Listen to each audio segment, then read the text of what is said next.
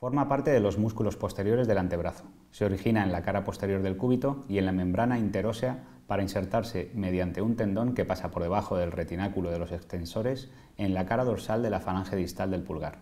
Su acción principal es la de extensión del pulgar y participa en la extensión e inclinación radial de la muñeca.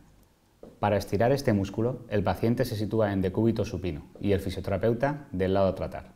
El terapeuta lleva el hombro a abducción y extensión, Fija la mano cerrada con el pulgar incluido.